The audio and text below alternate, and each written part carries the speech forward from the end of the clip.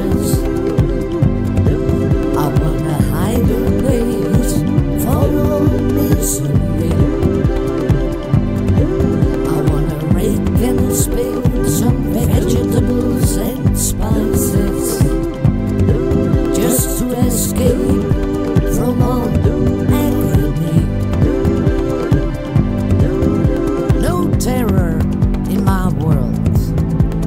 Extortion by the rich, no ecology measures, no hypocrisy for me, no excesses in religion, no wars for their own benefits, not satisfy the need